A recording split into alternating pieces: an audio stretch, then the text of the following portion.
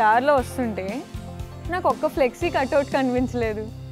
ఇంటి బయట కూడా జేపీ గారు ఫ్లెక్సీ అయినా కనిపిస్తున్నాను నాకు కనిపించలేదేంటి? ఎందుకు అవసరం ఏంటి? మీ భావజాలం కనుక పనికొచ్చేదైతే ప్రజలు ఆమోదిస్తారు ఉపయోగించుకుంటారు. పనికిరందైతే తిరస్కరిస్తారు. అర్థం కాకపోయినా తిరస్కరిస్తారు. సార్ యాక్చువల్లీ ఇవాళ కాన్వర్జేషన్ మనం మాస్క్ తీసేసినట్టే అన్మాస్క్డ్. అంటే వీలైనంత క్యాజువల్గా రిలాక్స్డ్గా ఓపెన్గా నేను ఎప్పుడు అదే రకంగా ఉంటాను. ఎందుకంటే. ఓపెన్. ఓకే. మీరు చెప్పారు. క్లియర్ రిలాక్స్డ్ క్యాజువల్ సో అయితే. ఇంకొంచెం దానికి ఒక ఎలిమెంట్ యాడ్ చేద్దాం ఫన్. ఫన్ నాలో లేదు. అంటే లైఫ్ అంత సీరియస్గా తీసుకుంటారా? ఎంజాయ్ చేయరా? అంటే నిజంగా నాకు హాస్యం అంటే చాలా ఇష్టం. ఓకే. నేను మంచి షో కానీ లేకపోతే మంచి పుస్తకం కానీ హాస్యం చాలా ఆస్వాదిస్తాను. కానీ కొంచెం మొహంలో ఏంటంటే కొంచెం గాంభీర్యం ఉంటుందని అందరూ అంటారు. సో మీ ఫన్ అంతా ఇక్కడ ఉంటుంది. అత్యధికంగా అక్కడే సో ఉంటుంది. ఇక్కడ నుంచి కిందకి రావట్లే. రాదు. మంచి హాస్యం అంటే ఇష్టం నాకు. బిగ్ బాస్ చూస్తారా? మంచి లేదు, అసలు అలాంటి సమస్య బిగ్ బాస్ ఫైవ్ చూడట్లేదు మీరు. నాకు తెలియదు అదేంటో. యాక్చువల్లీ అదే ఇంపార్టెంట్ ఏమో కదా. మనం మన పాలిటిక్స్కి బ్రెయినీ వర్క్ కంటే ఒకే రకంగా ఓట్ను అడగటం. ఇదే క్లిక్ అవుతుందేమో కదా. రాజకీయంలో ఏంటంటే ఈవేళ మీరు రేపటి భవిష్యత్తు కోసం చేపట్టవలసినటువంటి పనులు చేపడితే తాత్కాలికంగా కొంత త్యాగాలు చేయాలి. ఒకటి మనం మర్చిపోయాం విదేశం దేశంలో. ఫ్యూడల్ నాయకత్వం అంతా పదవి రావడం తప్ప అసలు ఎందుకోసం అని చెప్పి ఆలోచించట్లే మనం? మనం కాన్వర్జేషన్ బిగినింగ్లో అనుకున్నట్టు చాలా ఫన్ కాన్వర్జేషన్లా ఉండాలి. ఒక ఇరవై ముప్పై ఏళ్ళు వెనక్కి వెళ్ళి జేపీ గారు కాలేజ్ ఉన్న రోజుల్లో ఎలా మాట్లాడేవాళ్ళు ఎలా ఉండేవాళ్ళు జేపీ గారిని ఎలా ఫ్రెండ్స్ సంబోధించేవాళ్ళు అలా ఈ కాన్వర్జేషన్ వరకు మీరు నాకు నిక్ నేమ్ చెప్పాలి ఎలా పిలవాలి JP. So I call you JP. You can call me Swathi. క్రితం ఒక అమ్మాయి మీలాగానే సార్ మీరు చెప్పేది మరీ అర్థం కాకుండా ఉంది సార్ ప్రౌఢంగా ఉంది సీరియస్గా ఉంది. అట్లా కాదు. అంటే ఏమ్మా ఎలా మాట్లాడినా?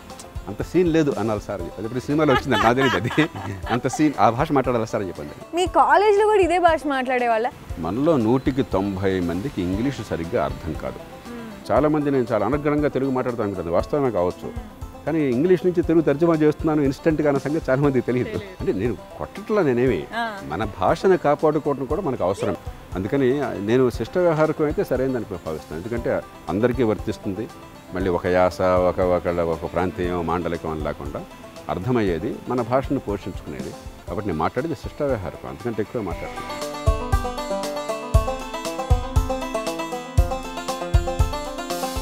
వాళ్ళు తిరిగి వచ్చారు ఇప్పటికి తిరిగి తిరిగి వచ్చే టైం అనమాట వాకింగ్కి ఓకే. మా శ్రీమతిని కలిసి వెళ్తాను మీ మిస్సెస్ మాట్లాడతారా? లేదు. కంఫర్టబుల్ నన్ను కొట్టినా కొట్టచ్చు.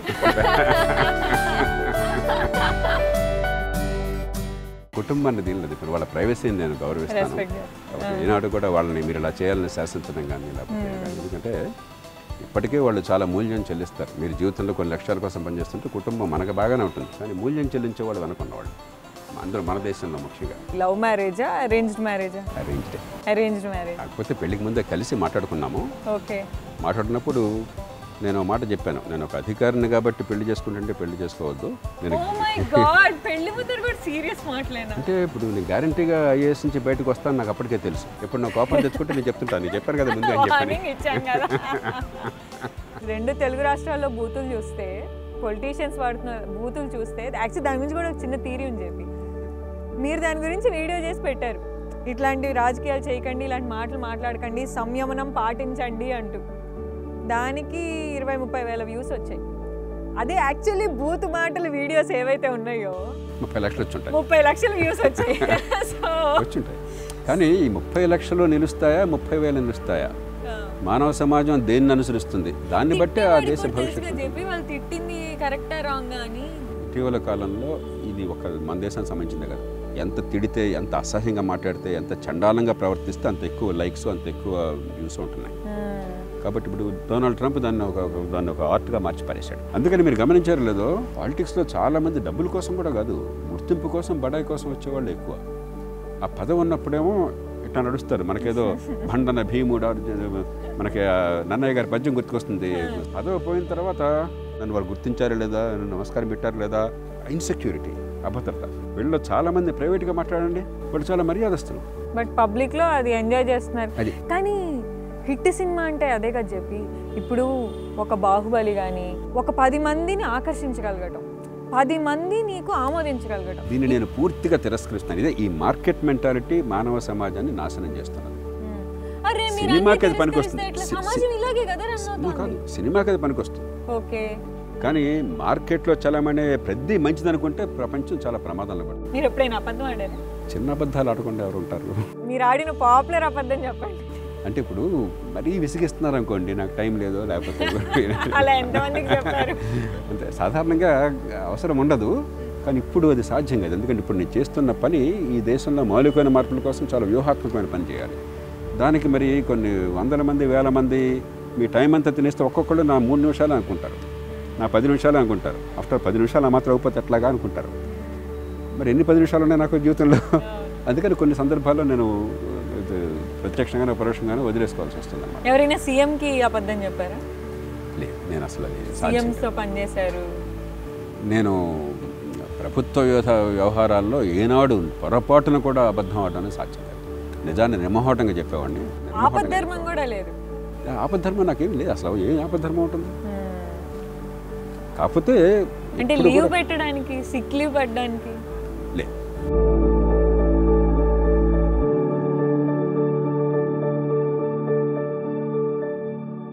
సో ఇప్పుడు మీ భాష అప్డేటింగ్ గురించి మాట్లాడాను ఇందాక సో శిష్ట వ్యవహారికం నుంచి సాధారణ వ్యవహారికానికి ఇంగ్లీష్ లెవెల్కి ఇంగ్లీష్ లెవెల్కి వెళ్ళిపోకపోవడానికి కారణం మీరు అప్డేట్ అవ్వకపోవడం అసలు మీరు లైక్ నాకు నాకు ఒకటి చెప్పండి.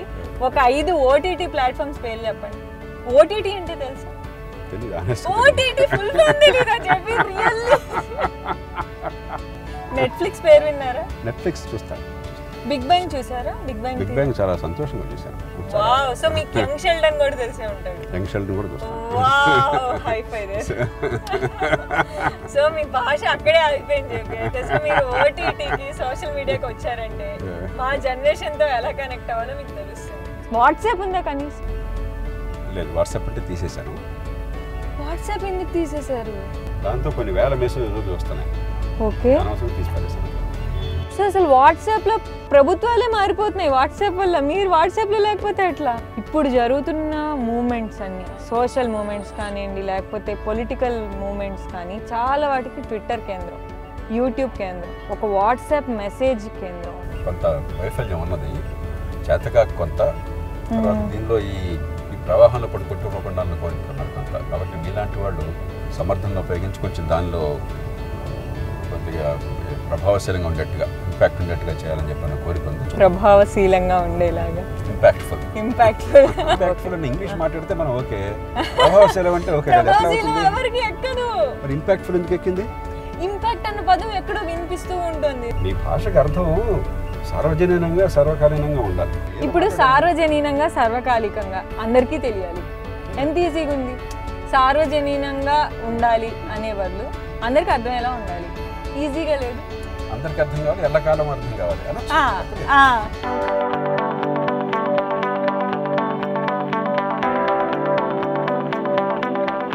ఎవరైతే ఐఏఎస్లు అయ్యారో ఐఏఎస్ ప్రయత్నించారో ఒక మీ సిద్ధాంతాల్ని నమ్మారు విలువలు నమ్మారు ఇప్పుడు పాలిటిక్స్లోకి వెళ్తామంటే మిమ్మల్నే చూపించి మళ్ళీ పేరెంట్స్ వద్దు అంటున్నారు. అది కమ్యూనికేట్ చేయడంలో ఫెయిల్ అయ్యారా? ఇది నిరంతరమైనది స్వాతి. స్వతంత్ర పోరాటం తర్వాత మధ్యతరగతిని యువతని రాజకీయాన్ని విస్మరించొద్దు పట్టించుకోండి అని చెప్పి పిలిపించిన దేశంలో నేను. కానీ రాజకీయానికి అర్థం ఎమ్మెల్యే ఎంపీగా ఎన్నికల్లో పోటీ చేయటము ఈ డబ్బులు ఓట్లు ఓట్ల డబ్బులు పంచిపెట్టడము అలాంటి రాజకీయం అప్పుడు వద్దు ఇప్పుడు వద్దు. రాజకీయానికి కొత్త అర్థం కావాలి. రాజకీయం అంటే మంది డబ్బుల్ని మంది మంచి కోసం ఉపయోగించడం దానికోసం విధానాలు రూపొందించడం చట్టాలు చేయటము. దురదృష్టం కొద్దీ ఎన్నికల రాజకీయంలో ఇవాళ స్పేస్ లేదు. సో ఇప్పుడు నాలంటి వాళ్ళు కంటెస్ట్ చేస్తా అంటే ఎవరు ఓటే? నేను మీకేస్తారా నాకు కూడా ఇప్పుడు కొంత పడతాయి. కొన్ని కొన్ని సందర్భాల్లో పరిస్థితులు కలిసి వస్తే గెలిస్తే గెలవచ్చు కూడా. ఒక హీరో అది కూడా హీరోయిజం వల్ల గెలవడం తప్ప వ్యవస్థ మారడం వల్ల కాదు. సో హీరోయిజంగా గెలవద్దు అనుకుంటున్నారు. ఉపయోగం లేదు దానివల్ల. హీరోయిజం గెలిచిన తర్వాత జనం అనుకుంటారు ఒక మిరకల్ రావాలని కోరుకుంటారు. సో ఇప్పుడు మీరు ఓడిపోతారు అన్న భయంతో రాజకీయాల నుంచి బయటకు వెళ్ళాలని చాలా మంది అనుకుంటారు. అది కరెక్ట్ కాదు. అసలు ఇమ్మెటీరియల్ అసలు ఈ ఈ ఎన్నికల్లో గెలిపేమిటి ఓటమేంటి? హుజరాబాద్లో మీరు రెండు వందల కోట్లు ఖర్చు పెట్టి గెలిస్తే గెలుపు అది. కాబట్టి జనం ఏమంటున్నారు పత్రికలు ఏమంటున్నాయి పార్టీలు ఏమంటున్నాయి నాకు అనవసరం. కానీ పొలిటీషియన్స్ అంతే కదా చెప్పి ఇప్పుడు చూడండి. మీరు గాడిదలాగా అట్లా ఓట్లేకండి బాగుపడరు మీ జీవితాలు. మూర్ఖలా ప్రవర్తించకండి అంటే ఏ ఏ ఓటర్ అయితే అయితే ఓట్లు వేయించుకోవాలో?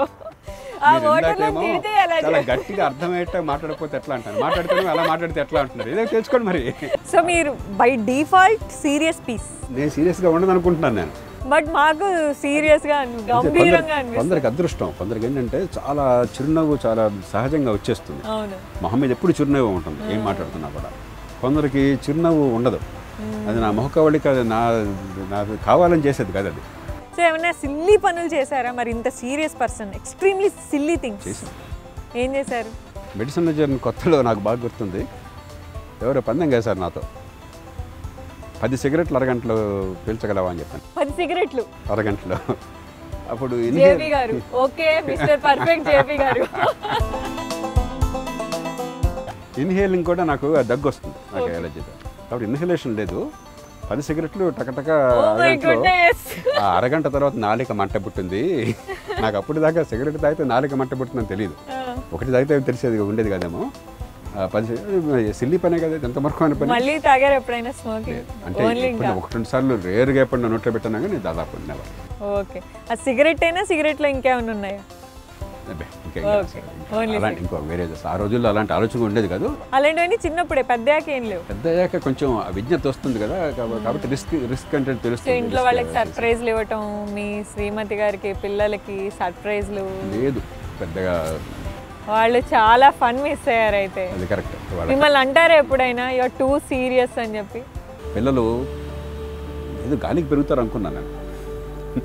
అంటే అది కాన్షియస్ చాయిస్ అంటే టు హ్యావ్ కిడ్స్ లేకపోతే నేను వద్దనుకున్నాను. వద్దనుకున్నారా? ఆ. తర్వాత మరి ఒకళ్ళు అనుకున్నాం. నేను ఐఏఎస్ వదిలేద్దామని నిర్ణయం చేసుకున్న తర్వాత మా శ్రీమతి ఒక షరతు పెట్టింది ఇంకొక బిడ్డ అని చెప్పినప్పుడు రెండో బిడ్డ మాకు ఐఏఎస్ నేను బయటకు వస్తున్న కాలంలో ఇప్పుడు మరి మీరు ఎర్న్ చేస్తారా మనీ?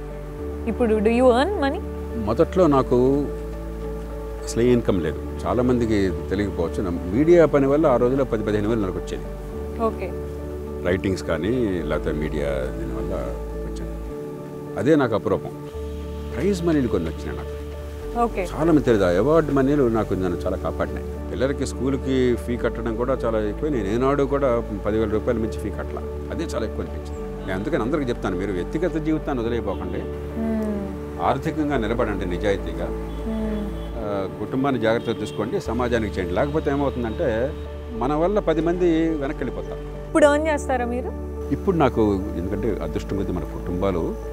బలమైన వ్యవస్థ మా తల్లిదండ్రులు, కానీ మా శ్రీమతి కానీ తర్వాత కాలక్రమేణా కొంచెం నేను చాలా పొదుపరిని. ఏ ఇబ్బంది లేకుండా నింపాదిగా నట్టు నాకు అలవాటు. కాబట్టి వ్యక్తి జీవితంలో కొంచెం జాగ్రత్తలు ఆర్థిక ఎకానమీ కొంచెం చాలా పెరుగుతున్న ఎకానమీలో మనందరం అదృష్టవంతున్నాం కదా.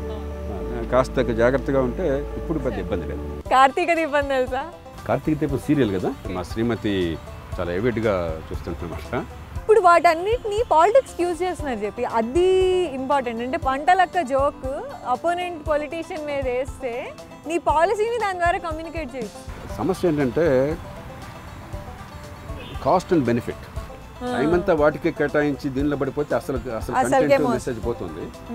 సో ఐన్స్టైన్ ఒక సందర్భంలో అన్నాడు.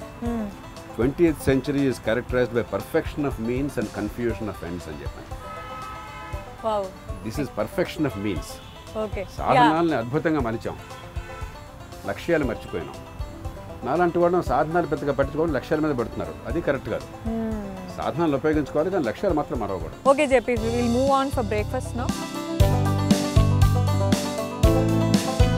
okay చెప్పి నవ్ యూఆర్ ఇన్ హోటల్ మీరు ఏం తింటారు? ఇక్కడ చూస్తే నాకు మూడు ఆప్షన్స్ ఉన్నాయి. స్టీమ్ దోశ వాళ్ళు ఆనియన్తో ఇస్తే. ఆనియన్ ఇష్టం. అది లేకపోతే ఏదో ఒక ఆనియన్ దోశ. లేదంటే ఆ, పెసరట్టు ఉప్మా. ఈ ముట్లో ఏదో ఒకటి. ఓకే నాకు కూడా మీరే ఏదో ఒకటి చెప్పేసేయండి. స్టీమ్ దోశలో ఆనియన్ వేస్తారా? వేరా ఓకే అయితే చాయిస్ లేదు. అయితే మంచి ఆనియన్తో దోశ ఏమి ఇస్తారు నాకు? హ్మ్? పుట్టండి బాగా వేస్తారు ఆనియన్? ఓకే మీకేంటి? మీరే చెప్పండి బెస్ట్ ఏదో స్టీమ్ దోశ తీసుకుంటారా? Steam anything else coffee. With sugar లేదు చెప్పి you're sixty five you don't have any health problems లేదు. టాబ్లెట్ ఏం తీసుకోరు రోజు? ఒక్క మైల్డ్గా బ్లడ్ ప్రెషర్ వెరీ మైల్డ్ అది కూడా. మామూలుగా కంట్రోల్లో ఉంటుంది. బీపీ షుగర్ అంటే మన తెలుగు రాష్ట్రాల్లో రెండు రెండు చెవుల్లాగా. అంటే బీపీ తెలుగు రాష్ట్ర ప్రజలు షుగర్ చాలా భయంకరంగా. డయాబెటీస్ ఉన్నది. కొన్నేళ్ళ క్రితం నేను లండన్లో కింగ్స్ హాస్పిటల్ అని ఫేమస్ హాస్పిటల్ అక్కడ. అక్కడికి వెళ్తే మైకేల్ అడ్మాన్స్ అని చెప్పని డయాబెటిక్ స్పెషలిస్ట్ అని వరల్డ్లోనే డయాబెటిక్ ఫుడ్లో ఈజ్ నెంబర్ వన్ అన్న నేను హైదరాబాద్ నుంచి డయాబెటిక్ క్యాపిటల్ ఇది వరల్డ్ అన్నాడు ఆయన. దక్ష దక్షిణాది కొంచెం అంటే మనకి రైస్ ఈటింగ్ వల్ల కావచ్చు కొంచెం ఇండియన్స్కి ఏంటంటే ఆహారం అంతా పొట్టలో జరుగుతుంది అబ్డామినల్ ఫ్యాట్ ఎక్కువ మనకి. దానివల్ల కావచ్చు. మరి మీరెలా ఫిట్గా ఉన్నారు ఫ్యాట్ లేకుండా? నాకు కూడా కొంచెం పెరుగుతుంది ఈ మధ్య? ఈ మధ్య ఒక మూడు కేజీలు పెరిగాను నేను. మీరు బాగా రిగ్రెట్ అయ్యే విషయం. అంటే అరే చీ నేను ఎందుకు చేశాను ఇట్లా? ఇలా చేయకుండా ఉండాల్సింది అనే విషయం ఏమైనా ఇది ఇప్పుడు ఫస్ట్ టైం నేను మాట్లాడినాను ఇంతవరకు ఎవరికి చెప్పలేను. ఢిల్లీలో ముఖ్యమంత్రి గారు నేను ఎన్టీ రామారావు గారు సిఐఏ నేషనల్ సదస్సు ఉంటే దానికి వెళ్ళాం. నా మనసులో మాట కొంచెం చెప్పాలనుంది. నాకు చాలా ఒత్తిడి మీద ఉన్నాను నేను. అని ఏదో చెప్పబోయారు నాకు. కుటుంబము రకరకాల నేను వెంటనే ఆయన వారించాను. నేను నాకు చెప్పకండి చెప్తే నా మనసు మీద ముద్రపడుతుంది ముద్ర పడుతుంది ఆ భారం ఉంటుంది. నాకు ఆ భారం ఉండకూడదు. నేను కేవలం రాష్ట్రహితం గురించి దేశహితం గురించి మీకు సలహా ఇవ్వాలి. అవసరమైతే మీతో కొన్ని సందర్భాల్లో గట్టిగా నిలబడాలి. అని నేను కర్కశంగా చెప్పాను. అంటే మాట మృదువుగా చెప్పినా కూడా భావం చాలా కర్కశమైనది. తప్పు చేయలే. బహుశా ఇంకో రకంగా చేసి ఉండొచ్చాను మీరు చెప్పింది ఎలా ఉందంటే ఎమోషనల్ జేపీ మెకానికల్ జేపీ రెండు సెగ్మెంట్స్ లాగా. ప్రజాహితము ప్రజా సంక్షేమం అది తప్ప ఇంకొక ఫ్యాక్టర్ నేను కానీ ప్రజలకి ఎమోషన్స్ కాల్ జేపీ అది మిస్ అయ్యారు మీరు. కరెక్టే కానీ నేను ఎప్పుడు కూడా థింకింగ్ ఫాస్ట్ నేను పట్టించుకోవాలి ఇమోషనల్ దీన్ని నేను ఖచ్చితంగా అది నాలో లోపం ఉన్నది కమింగ్ బ్యాక్ టు రిటైర్మెంట్ మరి ఏంటి? రిటైర్ అవుతారా? అదే కనిపించట్లా. వాళ్ళని కోరుకుంది కానీ ప్రస్తుతం ప్రజాస్వామ్య పెట్టలో నేను చేస్తున్న పని ఏంటంటే నెక్స్ట్ జనరేషన్ మీలాంటి వాళ్ళు మెరికల్ లాంటి వాళ్ళని ఐడెంటిఫై చేసి వాళ్ళని ట్రైన్ చేసి ఒక టీంని నాతో సమ నేను లేకున్నా కూడా నడిచేట్టుగా టీంని ఏర్పాటు చేస్తున్నాను ప్రస్తుతం ఆల్రెడీ మనకి ముగ్గురు మెరికల్ లాంటి వాళ్ళు వచ్చారు. సో టు డూ లిస్ట్ ఏమైనా ఉందా మరి? రిటైర్ అయ్యాక ఇవి చేయాలి. ఇప్పుడు అందరికీ బకెట్ లిస్ట్ ఉంటుంది తెలుసా మీకు బకెట్ లిస్ట్ అంటే తెలుసా? నేను విన్నా తెలుసు నాకు. ఓకే గోల్స్ ఒకటేంటంటే కొంచెం రెండు ఉన్నాయి నాకు సరదాలు. మ్యూజిక్ నేర్చుకోవాలని. కొంచెం యాక్చువల్గా అంటే సైంటిఫిక్గా నేర్చుకోవాలని. రెండోది ఆస్ట్రానమీ నాకు చాలా ఇష్టం. ఒక మంచి టెలిస్కోప్ పెట్టుకుని కొంచెం స్టార్ గేజింగ్ చేయాలి. ఈ రెండు నాకు కొద్దిగా ఇంకా తీరని కోరికలు. సమయం అవకాశం దొరక్క. ఖచ్చితంగా ఆ రెండు కూడా చేస్తాను.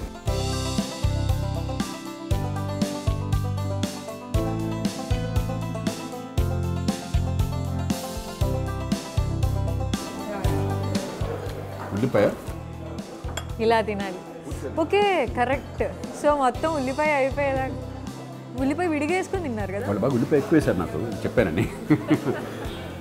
నాకు ఇష్టము తర్వాత ఆరోగ్యానికి కూడా మంచిది. ఉల్లి.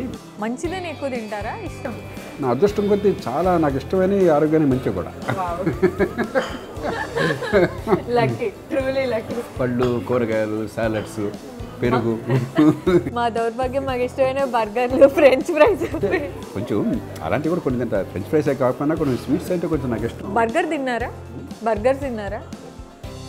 పిజ్జా తింటారా? అప్పుడు pizza road side noodles. Road side తినను. పానీపూరి. కొంచెం రోడ్ సైడ్ పొరపాటున కూడా. పానీపూరి ఎప్పుడు తినలేదా? ఇన్నేళ్ళలో పానీపూరి తినలేదా? మీరు ఫెమినిస్టా? నాకు లేబుల్స్ నాకు తెలియదు నాకు నాకు పెద్ద ఆడ మగ తేడా ఉండకూడదని నమ్మకం నాకు. ఓకే. నాకు- అదేగా ఫెమినిజం అనేది? మళ్ళీ లేబుల్ పెట్టగానే దాని రకాలుగా వస్తాయి. ఎందుకు గొడవ అంతాను అందుకని ఇప్పుడు నేను నా దగ్గర ఎప్పుడు ఎక్కడ పని చేసినా కూడా నేను ఆడ మగ అన్నది లేకపోతే కులము మతము ప్రాంతము ఏనాడు నా మనసులో కాల అవునవును మతం మతం. ఒక్క నిమిషం. సో ఆల్మోస్ట్ మనం చివరికి వచ్చాం. నాకు ఇప్పుడు ఒకటి గుర్తొచ్చింది. ఇప్పుడు ఏ టాపిక్ తీసుకున్నా ఇవాళ మార్నింగ్ నుంచి దాని మీద మీకు సబ్స్టాన్షియల్ నాలెడ్జ్ ఉంది. చాలాసార్లు విన్నాం.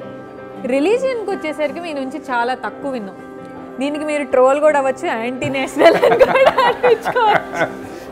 అయినా కూడా అడుగుతున్నాను. మీరు దేవుణ్ణి నమ్ముతారా? నాకు మన సంస్కృతి అంటే చాలా అపారమైన గౌరవం ఉంది దానిలో ఉన్న పొరపాటు నేను మీరు యువర్ బీయింగ్ పొలిటికల్లీ చెప్తాను, కరెక్ట్ చెప్- నో నో చెప్తాను. No Let me com- let me నాకు complete. straight. Let me complete. you Let me com- believe in Let me God complete. దేవుడు ఉన్నాడు నాకు అనవసరం. కానీ మనిషి ఉన్నాడు. మనిషికి సమస్యలు ఉన్నాయి. అది పూర్తిగా జీర్ణించుకున్నవాడిని నేను చాలామంది చెప్తుంటాను. దేవుడు ఉన్నాడో తెలియదు కానీ పాపం ఉందని నమ్ముతాను నేను. రెండు భయంకరమైన పాపాలు ఉన్నాయి. Greatest sin is unfulfilled potential బిడ్డల్ని ప్రకృతి పుట్టిస్తే తెలివితేటలను ప్రకృతిస్తే ఆ- తెలివితేటలు బయటపడే అవకాశాన్ని సమాజం ఇవ్వకపోతే అంతకంటే పాపం నా దృష్టిలో the second greatest sin is avoidable suffering మనుషుల ప్రాణాలను లేకపోతే బాధల నుంచి నివారించే శక్తి మనకు కాపాడే శక్తి మనకు ఉన్నప్పుడు దాన్ని ఉపయోగించి ఆ పని చేయకపోతే నా దృష్టిలో భయంకరమైన పాపం. Brilliant JP it is you had a great conversation ఇది న్యూ ఏజ్. దీన్ని బఫా అంటారు. మేబీ నాకన్నా నెక్స్ట్ జనరేషన్ ఏమంటారో నాకు తెలియదు మీకు ట్రూత్ ఆర్ డేర్ తెలుసా? అప్పుడప్పుడు ఒకటి రెండు షోస్లో వాటిలో విన్నాను. సో రెడీనా? నేను అబద్ధం ఆడను. ఓకే కొన్ని విషయాలు నేను ఓకే ఓకే ఒక కండిషన్ పెట్టుకుందాం. ఒక కండిషన్ పెట్టుకుందాం. మిమ్మల్ని డిస్కంఫర్ట్ మీకు డిస్కంఫర్ట్ కాజ్ చేసే క్వశ్చన్ అడగను. Okay. Okay done trust me on that డేర్కి ready కదా? డేర్కి రెడీ అంటే ఒక ఛాలెంజింగ్ టాస్క్ చేయాలి. అంటే అది సెన్సిబుల్ అయితే నేను మళ్ళీ. అంటే ఇప్పుడు మిమ్మల్ని ఇక్కడ నుంచి జూబ్లీస్ పరిగెత్తమన్నది అలాంటివి అయితే అడగను. ఓకే అటువైపు తిరిగి. ఓకే నా ట్రూత్ ఆర్ డేర్ చెప్పి tell me truth or dare లేరు ఎందుకు? ట్రూత్ అబ్బా I wish you for dare truth did you ever say I love you to your wife చెప్తాం. పిల్లలు కానీ శ్రీమతి కానీ ఓకే. రోజు చెప్పడం కాదు కానీ అట్లాగే మెసేజెస్ పట్టినప్పుడు కూడా of in times hand with love అని చెప్పిన ఓకే. So okay. గ్రేట్. అంతే ఎంత చిన్న ట్రూత్ అడిగాను. Now the dare. ఇన్స్టాగ్రామ్లో రీల్ అని ఒక ఫీచర్ ఉంటుంది. ఒక రీల్ షూట్ చేద్దాం. It's just a thirty second thing. So JP is doing on Instagram reel. Okay I have doctor JP with me. Sir you want say something? చాలా రోజుల తర్వాత నేను స్వాతితో ఇవాళ ఒక రిలాక్స్ కాన్వర్సేషన్ టెన్ సెకండ్స్ మామూలుగా నేను చాలా సిగ్గుపడే వ్యక్తిని ఇవాళ మొహమాటం లేకుండా మాట్లాడగలను congratulate her because sharpness more. Humour have a great day. Thank you.